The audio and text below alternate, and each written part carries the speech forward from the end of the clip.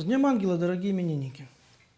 Если вы посещаете богослужение и внимательны при этом в храме, то вы должны обязательно помнить такие слова. Молитвы мирной к тени о путешествующих, недугующих, страждущих и плененных. Вроде бы нет войны, однако же и в наше время многие люди находятся в вольном, невольном плену, в рабстве. Пребывание в плену – это тягостнейшее состояние, однако и оно бывает полезно тем, кто доверил свою жизнь Богу. И сегодня мы расскажем об одном человеке, которого именно пленение и узы, и темница возвели на высокую духовную степень. Речь идет о святом Варсонофии, святителе Варсонофии, епископе Тверском и чудотворце Казанском. Он родился в городе Серпухове в XVI веке в семье священника Василия. Когда его крестили, назвали его Иваном, без причуд. Это самое распространенное имя и было, и есть на Руси. Ваня был смышлен, набожен, а когда достиг отроческого возраста, случилось ему попасть в плен. Крымский хан Ахмад Гирей совершил набег на некие области Руси, на Рязань пошел, потом обошел Рязань и оказался в Серпухове.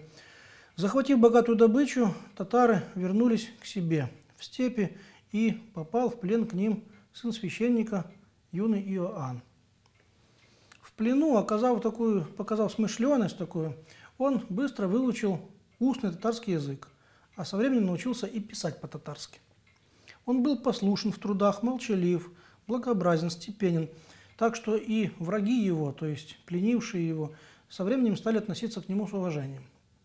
Находясь в темнице, а потом на подневольных работах, он понял всю суету этого нынешнего мира – понял, что есть нескончаемое блаженство, непоколебимый покой, понял, что в этом же в этом мире, в этой жизни мы неизбежно будем страдать, и там в плену у него созрело в душе желание, если Бог благословит он освободиться, стать монахом.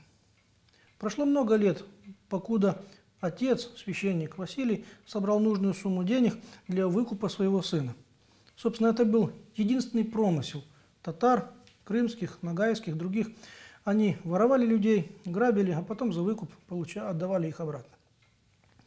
Получил своего сына обратно Василия, однако сын решил стать монахом. Он постригся в Спасо-Андрониковском монастыре в городе Москве, и там нарекли его при пострижении Варсонофием. Это красивое, благозвучное, несколько таинственное имя, означает в переводе с арамейского языка «Великий Сын Божий». С этим именем инок Варсонофий начал трудиться и вести жизнь постническую и монашескую. Не может укрыться светильник зажженный, и нельзя поставить его под спудом, он должен освещать всех находящихся в доме. Так Варсонофий был замечен и как архимандрит послан в Казань, новопросвещенный христианский город, отвоеванный у татар. И там, в Казани, Варсонофию пришлось организовывать монашескую жизнь. Зная татарский язык, он много содействовал обращению христианства и просвещению э, христианством, светом Евангелия людей, живших в этом городе. Его полюбили, он был трудолюбив, милостив, молитвен, искренне набожен, был настоящий постник.